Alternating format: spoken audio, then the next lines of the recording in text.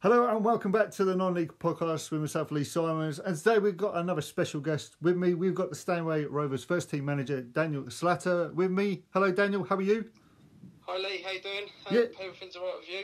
Yeah, not too bad, thanks. Uh, still stuck in isolation. Uh, I think this is now my sixth week. I think I've got another two to three weeks left to go.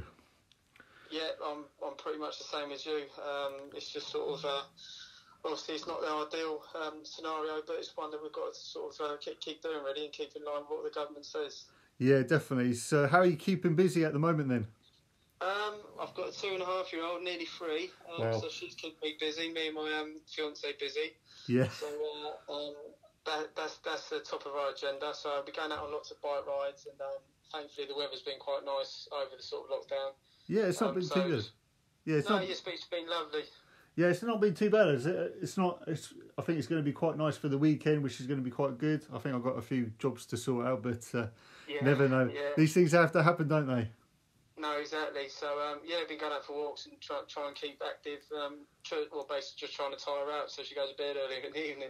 Yeah, I bet. So you can actually have a relaxing evening Exactly, for yourselves, and then then you can chill out, can't you? Yeah, exactly. So you say you've been on bike roads. How, how, how long have you been going on for bike roads? Is that every Um, day or? Well, yeah, pr- pretty much every day we sort of um, acquired a, a, a bike seat um, for the little one. Um, and it's been a godsend, really. So we've been able to get out and sort of not just being sort of limited to our daily walks. We've been able to go further afield. So I've been doing about 20 kilometres each day. So Oh wow. it's, um, it's yeah, quite good, really. Well, that's what we need to do, just to keep active, and then hopefully in the next couple of weeks, uh, hopefully we can get out a bit more, and then of course football starts again. Well, that's it. It's, as, well, as I said, it's, it's, it's good to get out and um, keep your fitness and keep your sanity, really. So it gets you out in fresh air. So, um, yes, it's, it's been a godsend, really. Um, so, yeah, really good. Good, good, good. So, Daniel, for people who don't know you, uh, can we just have a, little a background story from yourself and how you got into football? Um, well, basically, how I got into football. Um, I originally started at Stanway Rovers when I was um, a young a young boy, young kid, um, and then um, after that we had a very good, successful side, um, and sort of majority of the players went off to sort of different academies. And I went to Ipswich, um, but then I sort of got released before they sort of made their quota Right. uh, for, for, for, for being too small, which I thought was quite weird. I think I was only ten at the time. Oh, right. So That's, obviously, t- t- time to grow and all that. Um, yeah. So um, after that, I went to Colts United, um, and I excelled there. Yeah. Um, and then um, from there, I went to um, the FA National School, which was based before all the academies happened. Okay. Yeah. So Yeah. it's um, the 16 best boys in the whole of England get selected to go to um, to go and live in this school in uh. Oh, right. Wow. Um, and you do all your sort of um, academic up there in the local school, and then you obviously you represent England in the games on um, on the uh, weekends. So Oh, wow. um, I was rubbing shoulders with the likes of obviously there was two years there. There was the seniors uh, above you and juniors. Yeah. So the seniors above me, I was sort of rubbing shoulders on my Michael Owen, Yeah. uh, Wes Brown, uh, Michael Ball, who was Everton, um, and then when I was the seniors. I had um, the likes of Joe Cole below me. Oh, Um, right. Wow. So, and in my year, I had Scott Parker was probably the main one. Uh, Francis Jeffers, uh, Stuart Taylor, the Arsenal goalkeeper. Wow. So um, um, yeah, so from there, I sort of I was at Colts United at the time, and when Yeah. I left the school at 16, so obviously I was expected to go to Colchester. Um, Then I, I sort of um, I was in sort of not not um. I didn't want to leave Colchester, but I thought, "Do you know what, I might send my CV out there to other clubs Yeah. um, which I did, and the majority come back and said they've made their quota for that year. Right. Um, but Chelsea come back to me and said they'll come down for a trial Oh, wow. um, and go from there. Really, so I, I let coach know. I said that this is what I wanted to do, just Yeah. sort of test myself and push myself. Yeah. Um, and I went down to Chelsea, had a trial game. Um, it's quite quite funny, really. The trial game, I didn't really do much during the game. No. In the last minute, um, I created a bit of skill and got a cross in for one of the um, uh, lads, and we scored from it. And then I think that that was what got me a deal, really. So um, from 16 onwards, I was at Chelsea um, till 21 years old. Okay. Yeah. So, so you were like in like an academy, should we say, like it is like now, but for those like a few years ago, or when you was twenty one. Uh, sorry, was it sixteen? 16, yeah, went there. So you went straight into a YTS. Um, Okay. Yeah, yeah. um, which I think they still have that nowadays in the academies, but nothing like what it used to be. So you turn up at um, eight o'clock, you go in and clean all the boots for the players and Yeah. um, lay out all their kit and do, do, do all the things that you, you um, expected of them. So who Um, so you who did you have to clean the boots for?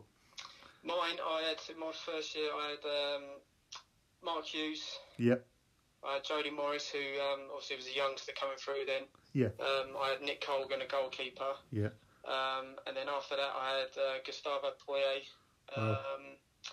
And then I can't think of the other one I had. Um, yeah, there, there was them four Wow. basically that, that I looked after. Um, and to be to be honest, it sounds sounds stupid saying it, but it's probably one of the best jobs I had. Just, it just took, took so much pride in sort of trying to get their boots clean and obviously make sure everything's laid out properly for them because you know that they'll take care of you and they sort of respect that. So um, you sort of earn a bit of respect from from, from, from doing that. Yeah. Did you meet any of the players as well while you were doing that? Yeah, yeah. Obviously, on a on a on a daily basis, we used to sort of uh, be in contact with them. Um, Yeah. I was quite fortunate that when I did sign there at 16, um, I, I pretty much hit hit the ground running, and before you know it, I signed a professional contract, and I was in the reserves in the first sort of first year of my YTS. Oh wow. Um, and then that first year, I got asked to go um, on a end of, end of season tour with the first team. Oh yeah, yeah. So um, the likes of myself, uh, John Terry, Jon Harley, um, and a few other youngsters went to Martinique in the Caribbean. Oh wow. I bet that's kind of a. So you're like rubbing sh- shoulders with the first team. I bet that was quite a eye opener Yeah, as well, so- really.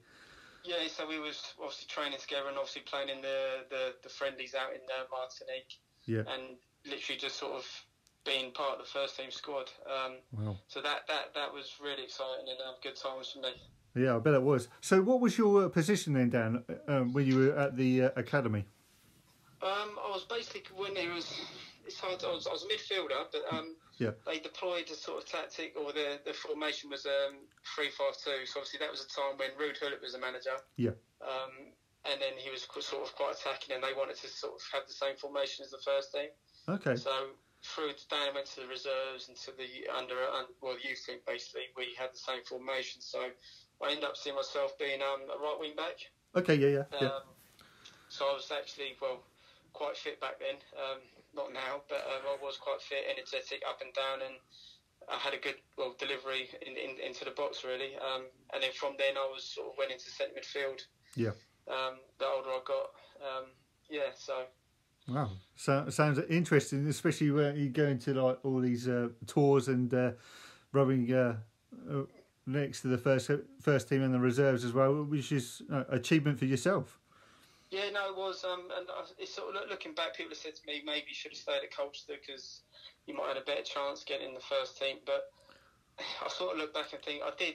I did make the bench twice uh, in the Premier League. Um, Wow. Didn't get on, Wh- and then I did sort of. Um, I travelled to um, Hapoel Tel Aviv Yeah. um, for one of the European games when six Oh, of the wow. first team players did, didn't want to travel due to like the terrorists and just the risk of Yeah. anything happening to them. They sort of didn't want to travel, so Wow. I jumped at the chance. I bet. I bet you did. to, So. to, So to what? go out there. Yeah. So what were the uh, teams you, you were on the bench for for Chelsea then? Um, I was at home. Um, it was at Stamford Bridge. It was home to Man City, Okay. Yeah. um, and it was so close. Um, that was when we had Vialli, uh, and then that was Claudio Ranieri was the manager then. Okay. Yeah. Yeah. So he um, he, he got me involved in the in the team, and um, I was about to get on. Me and Jon Harley warming up down um, towards uh, Matthew Harding's stand, and then uh, it's sort of getting called back, and you think there's your chance, and then Yeah. bloody Shaun Wright Phillips goes and scores an equaliser for Man Oh. City, so it makes it one 0 and then. You sort of think, is that my chance? And then he ended up putting on Winston Bogarde instead of instead of me. Um, Oh. Oh. So- shocking. It is, uh, as I said to, um, to, to, the, to the young lads I teach, there's, a lot of luck and sort of um, involved in football. And it just sort of, you look back and think maybe if that hadn't happened, would my chance come in maybe 20 minutes? Who, who knows what could have happened in 20 minutes? But um, thoroughly enjoyed myself at um, Chelsea and, and made some sort of good memories there. So I, I bet that was a quite a, a great experience for you, especially with the crowds, you know, chanting and everything, and you were like moments away to get on onto that Stamford Bridge pitch. I bet that was an Yeah, amazing yeah. feeling for you, anyway. Yeah, um, it was, and obviously me and Jon Harley were warming up, and there was the fans are chanting. Um, obviously because we're both, or they thought we were both young Englishmen coming through. Obviously John was English, but um, I was Welsh, so they were saying, "Oh, chanting the English boys," but um, they didn't realise I was Welsh, and I, I was representing um, Wales at under twenty one level at that time as well.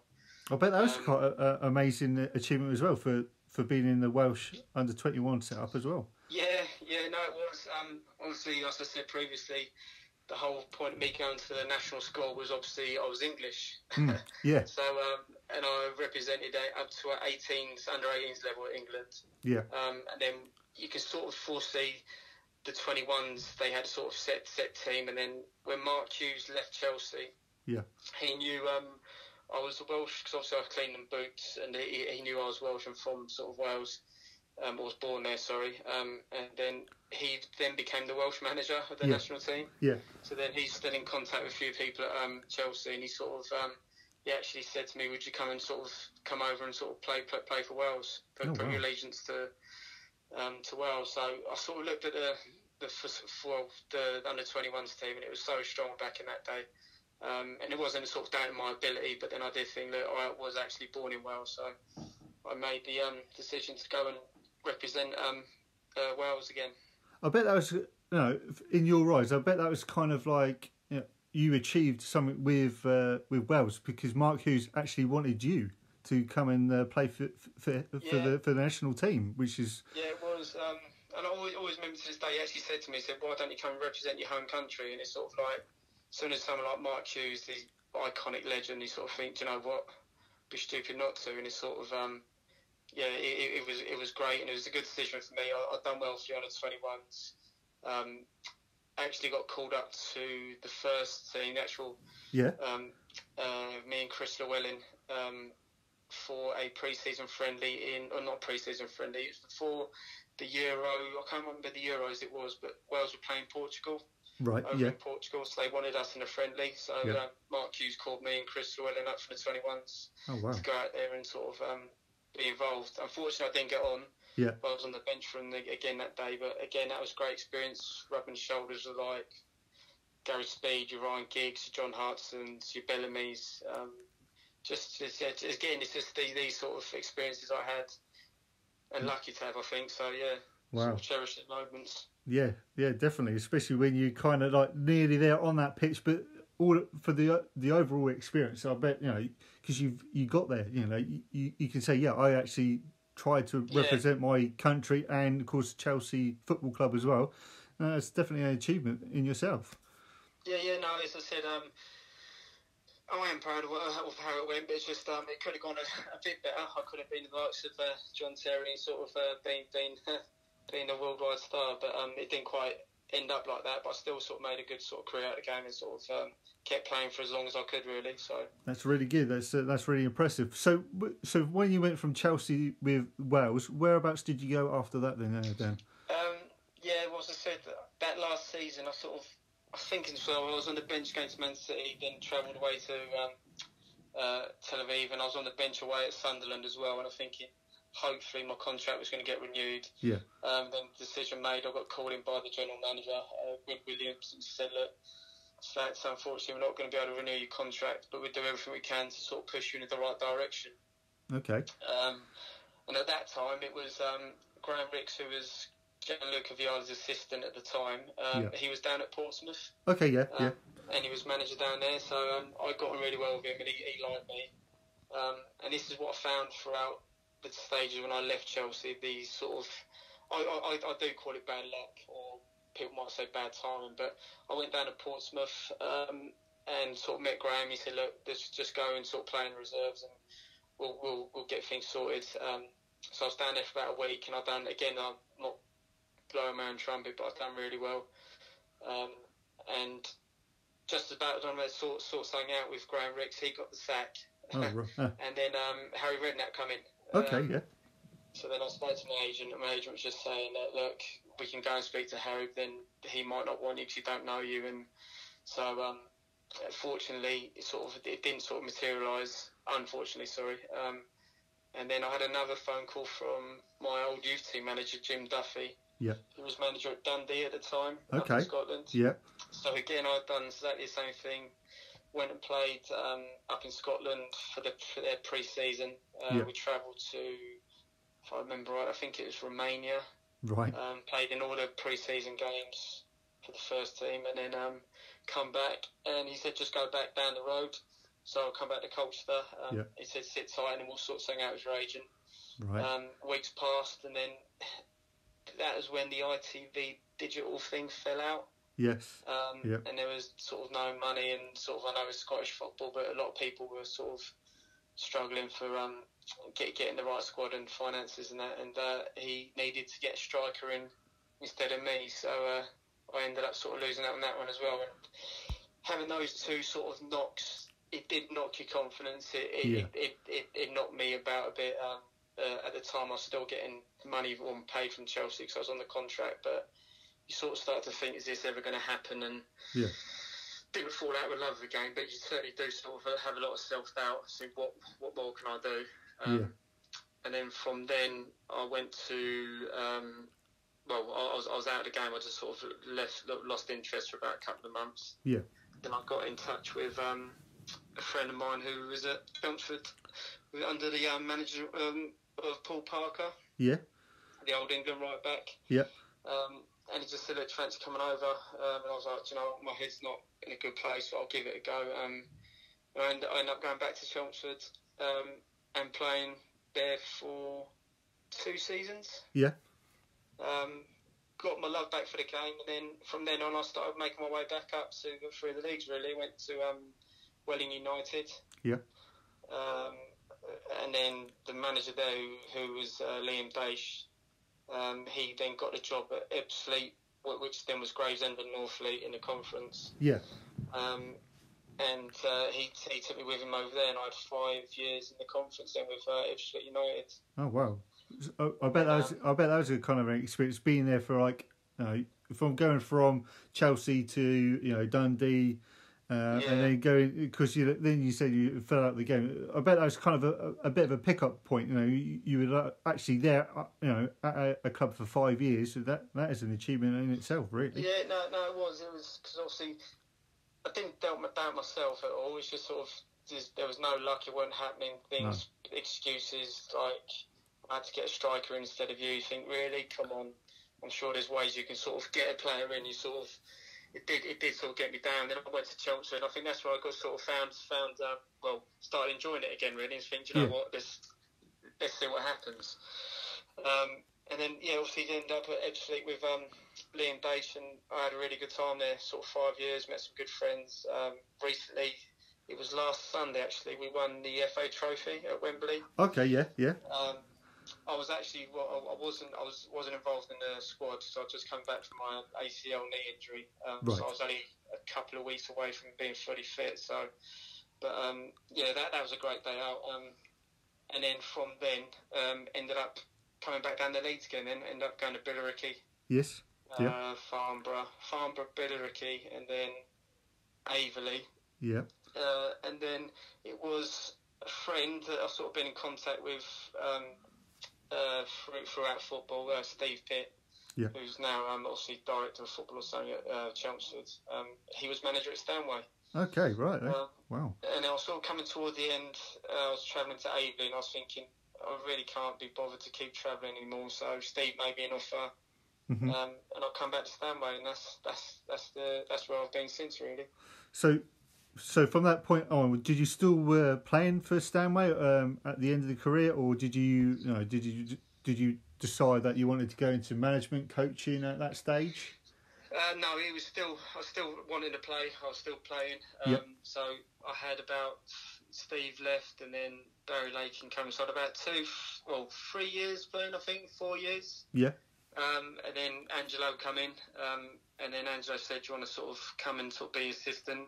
Okay. Um, and then that's that's where sort of the coaching side, the assisting side, sort of sort of come in. And um, obviously you, you can't play football forever. Um, I like to think I can, but up, up in my head I can. But my knees my knees are telling me otherwise. Yeah.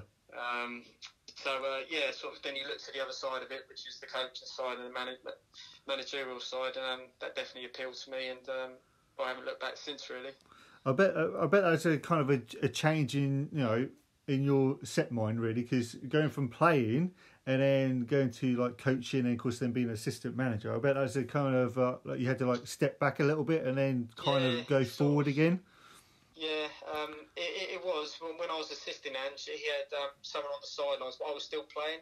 Right. Okay. Um, yeah. So I was I was sort of player assistant, and then he he had um, Alex Drennan next to him on the touchline. Um, and we, we, we had a really good setup there at um, uh, uh, Stanway, the, the, the three of us. Yeah. Um, and then um, obviously the transition, as you said, you sort of you're trying to be a player and a teammate, but at the same time, you've got your sort of head in the, the, the manager side of it. So Yes. the players the, the, the, the players knew they could trust me, so I wouldn't go behind anyone's back and sort of say, "Oh, they're saying this about the management," because that just didn't happen um, back then. No. Um, and then, um, unfortunately, Angelo left to Drens and majority of the team, myself included, because something happened at the club. And then, um, yeah, we parted ways really. Right. Okay. um, And then uh, I was out of the well, I was out of football for a bit. Then I a friend of mine wanted me to get playing again at Holland. yes. Um, so I just went over there, played a few games, um, and then I sort of done something to my knee again, I think, um, and I just sort of stopped playing for a bit. Yeah. And then it's only recently, uh, last not last season, season before. Yes. Um, obviously, there's a new chairman coming at Stanway, uh, Dave Jones, um, who's been brilliant for me. Yep. Um, he um, he took over and um, he uh, got a new manager in Terry Spillane. Yes. Uh, Terry applied for the job. I, I applied for it as well. Yep. Um, I didn't get it uh, first opportunity because um, they sort of just said experience, and obviously I just had a, my my my baby girl, so they probably thought time on my hands and everything like that. Yeah. Um, which I didn't agree with at the time. So obviously experience. I think I've got, I think the football background I have just speaks for itself. Yes. Um, so I assisted Terry uh, in the Essex Senior League. Um, it's, it's just not as good as the Thurlow now, but it certainly sort of um, it makes you realise uh, what sort of players you need for that standard football in the Essex Senior League. Um, and unfortunately, the club was going through a transition period at the time. Um, Yeah. Yeah. they lost a few managers in a sort of spate of a couple of years. Uh, the club itself wasn't in a good position, um, but then when Dave come in and took over the, the, the club with the chairman of the reins, um, the, the idea was trying to get Stanway back on the map. Um, Yeah. And then when we found out it was going back in the Thurlow, um, I reapplied for the job because they parted company with Terry at the end of that season. Um, Yeah. Well, four games before the end of the season it was. Um, Right. Okay. Yeah. and they asked me to um, take the job to the end of the season. Yeah. Pretty much sort of saying you're going to get it for the next year, but obviously, which I found in football, you can't take anything for granted. So um, definitely I give not, my no. best.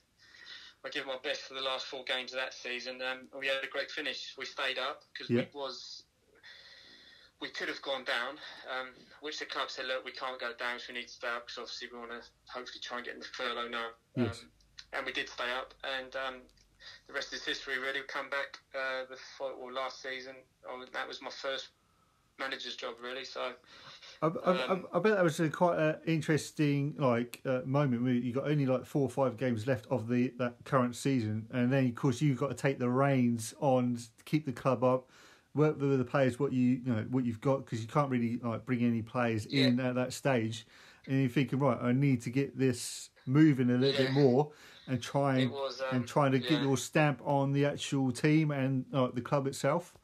Yeah, definitely. Yeah, you've hit the nail on the head there. It, it was very difficult. So obviously Terry come in, he had his own ideas, he had his own players, um, and the lads he brought in were were, were, were good lads. But and obviously they, they stayed true to Terry, um, and when he left, they left, which you do get that in non-league really. Um, Yeah. So majority of players that we had had left with Terry, so we were sort of had a handful of players that um, I knew originally, and then the rest was sort of made up from players that we could get on loan, so we couldn't sign anyone permanently. No. They had to be loaned, and then um, youth players, because Stanway itself has got an unbelievable youth section, um, which I'm hoping to sort of um, make the most of in, in, in well, hopefully if I'm there long enough in in, in the coming years. I, I bet that's Um, quite. I, I bet that's quite interesting, really, because uh, when all these players kind of leave you, uh, like, and then you've only got like a handful of like first teamers, and then you, of course you've got the reserves team, and of course, did you have like an under 18s team like, like like the season before that? No, there, there wasn't really. Um, Okay. It's, it's, it's weird because it's only just since last season that the 18s have we've come on board because obviously Angelo's coming as director of football and there's Okay. a structure at the club now where there is the 18s, there is the reserves, and there's a clear pathway through to the first team. Okay, yeah, Whereas before it was sort of like mainly just sort of you got youngsters that could sign on for the first team, Yeah. uh, the reserves, and then that was it. The first team, there was no clear pathway for for, for um, anyone really. Um, but now this this this has all been set out, and it is such a clear pathway. And you got this from the 16s, um, they go straight into the 18s, and then Yeah. it just shows for this season. I've I've had a lad, uh, Luke Skinner, in goal, who's um he was he's a young 16 year old, so he just turned 16 in Yeah. last May. yes, yeah, Um, he um, he come in for a couple of games where one of my, my keeper was missing. Fantastic talent, and um, uh, he he come in and sort of when we got my keeper back, he, he sort of sat back on the bench and that, yeah, and then um, he left the keeper. As I found out these these strange things, he just said he's he wasn't feeling football and his heart wasn't in it, and it's like, well, okay, Yeah. you can't really sort of well. You, you, you, you can't argue a player's decision or the feeling. So um, I stepped in and got, got Luke back in goal, and I didn't look back really for a 16 year old. yeah. So he, he, he done it exceptionally well. I, I I bet he did, uh, especially going from like you, you kept the club up, and then you go into the pre-season, especially being on you know on your own. This is my club. This is my team. I want to bring it up uh, best as I can. Yeah, um, and it was it was difficult. I'm not going to lie. Me and Ange um, obviously set out with targets in mind of players, but then obviously you've got to be sort of um, sensible. And obviously we, we do have a budget, and obviously Yeah. Some budgets in the league are, are greater than others, as, as we know. Yes. Um, but our, our, our budget was so and so, and we had to sort of go in line and try and get a full, squ- well, squad really of 16 good players, maybe 18. Yeah. Um, and then I ain't gonna lie, I have found it hard trying to sort of keep keep within that. Yeah. Um, and get the players in because obviously the better players that you do want probably do want a bit more money than some some other players. Um, that's Yeah. football generally. Yeah. Um, but the lads I've had this season, that we got them from pre-season. They've all been top draw. Um, obviously, uh, you've had him on the show recently, John Carver. Yes. Um, first time I've met him was obviously pre-season. He come and he's a giant of a, well, I was going to say man. he's, he's only a boy really in age-wise, but um, Yeah. such a lovely character, and me and him have hit it off straight away. Um, so he come in. Then we had Milo Grimes, who was already at Stanway. Um, Yeah. So I was working him with Terry. Yes. Um, again, obviously, he he got into that team as the team, so he's probably going to listen to this or when he's next on the show. And I'm just telling him not to get a big head. But um, he, he again is a exceptional talent who, who will do well for me next season. Definitely. And uh, yeah, so we, we, we had to start afresh basically. So going from having sort of no team, start of pre-season, we had possibly Tyler Kent and Milo Grimes. Yep. And Finn O'Reilly were the only players that were left from Terry Spillane, so three players. and We had to get a whole squad, Oh wow. um, which we did. And along the way, you end up picking up some players, um, as we know, is um, Danny Cunningham uh, and Curtis Haynes Brown we got from Coggeshall yes. um, and uh, Jack Baker and Remy Gambit from um, Whitton United, who all Ipswich boys and exceptional players, um, and sort of um, lads that done me really, really well, really well for my first, first season in charge of football. Uh, yeah, you've done really well. You were top five of the Premier Division. Uh, you know, I, I felt what, what I've seen of your team, it, it seems a bit. It's like it's um, really tall. It's really powerful. Um, right attitude to, to play for for you, Dan, and you know credit to you really, and, and for the club. Yeah, yeah, no, as I said, um, I'm well, honest as the day is long, really. Um, that, that's that's always been the way I played. I've always gone out there and sort of given my all um, for for the manager and obviously for the fans who I've played in front of. Um, I just wanted to rub off on the players, and also I've got my um, assistant Adam Munn, who's been um, a joy to work with and very sort of. Um, I'm, I'm more of a hands-on with the talking, but he goes into far more great detail with his coaching sessions and obviously uh, team talks. Yeah. Um, and also I've had Craig Hughes, who was going to be my captain, but unfortunately got injured.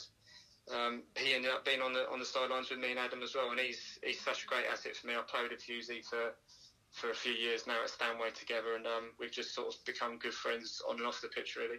That's really Um, good. That's really good.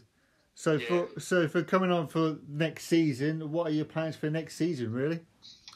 Um, I didn't want a season to finish really because I know obviously people might listen to this, but our last game was uh, Wroxham away, and I Yeah. think for me that was our best game that we've played because we had to go there with a game plan because Wroxham, in my opinion, were the best team in the league playing football wise. Mm. Um, some very good players there, um, and a tough place to go, Wroxham, especially on a uh, midweek.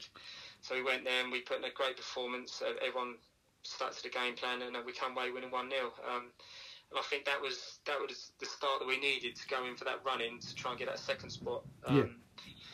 Um, which didn't happen really because obviously this uh, COVID nineteen. But um, obviously you've got to be sensible. There's more important things than football.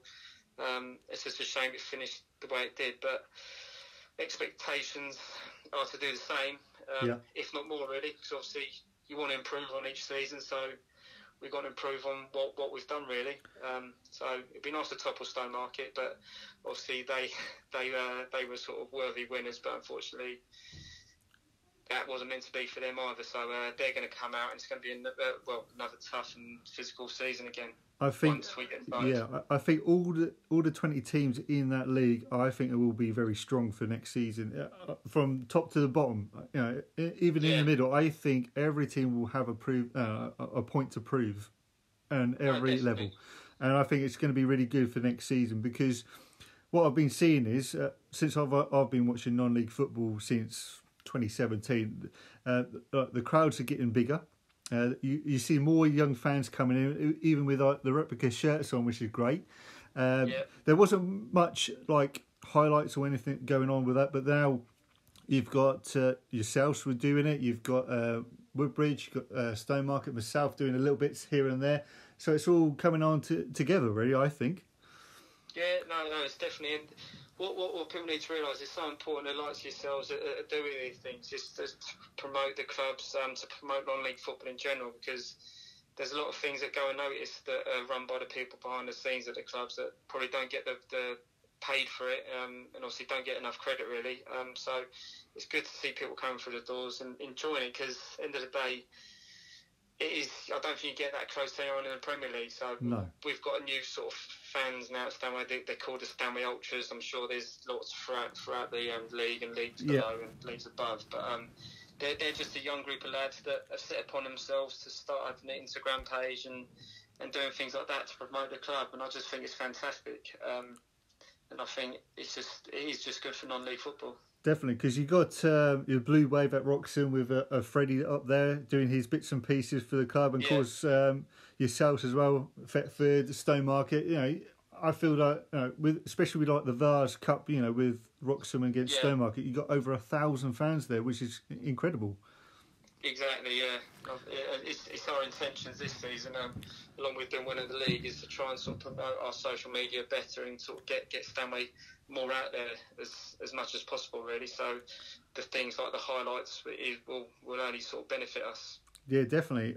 Uh, I know there's always pros and cons to like social media, but I, I think it's going to be a really good thing, really, because uh, I, I spoke to a few people. They do enjoy watching their goals back. I've even had a, like a, a few players come up to me saying, uh, "Oh, Lee, can I have my footage for my for my goal?" And I said, "Yeah, yeah, no problem." But it's like those goals got over like between four to five thousand views on on, on those Yeah. goals, which is which is incredible, really. Yeah, um, like you said, play, players do like to see. I'm. I'm saying this the nicest way. Players do like to see a picture of themselves in action. They do like to see if they've scored a goal, to see the to see the clips, because um, unfortunately there, there isn't enough in non-league to sort of do that. So the more and more people do it, it's only going to benefit um, the club and obviously the players themselves. and especially with the structures in every single club now, they're starting to bring in like the reserves team. They're bringing in the under 18s, under 16 teams, even the ladies teams in most of the most of the uh, clubs which are in the Thurlow Nunn, which is really good to see. Yeah, no, definitely. Um, and obviously Stanway, as I said, the unbelievable sort of structure for the youth. They've also got an unbelievable um, ladies teams and girls teams coming through as well. So it is, and I, I think it is only good for, for again non-league football and for, for the men and uh, boys and girls. So one other final question for yourself, Dan. Um, so who's been your toughest opposition from last season? Toughest opposition. Yeah. Um, as you said, it's hard because every, I, I tell the boys every time every team we go against is going to be a tough one because um, everyone wants to win a game of football at the end of the day. Um, to, to narrow it down, we've had sort of a few games against Woodbridge. Obviously, yeah. um, at home we beat them uh, three, four, one, I think, and then we went to them in the Vase and then they beat us. That was a tough game. Stowmarket, obviously, very tough. Um, and then you've got your Newmarkets that are always going to be sort of um, well tough to play against. Obviously, you've got Michael Shin there, um, yeah. who I know playing with um, and against in the past. He, he's, he's got them well run. So um, to nail it down, I can't really name one side, but yeah, it's just it is difficult. You got Thetford, as I said, on on on a day in in that league. That's that's why I think it's a great league because any team could beat anyone really. Um, Definitely. Um, may, maybe not Stowmarket, but get a draw.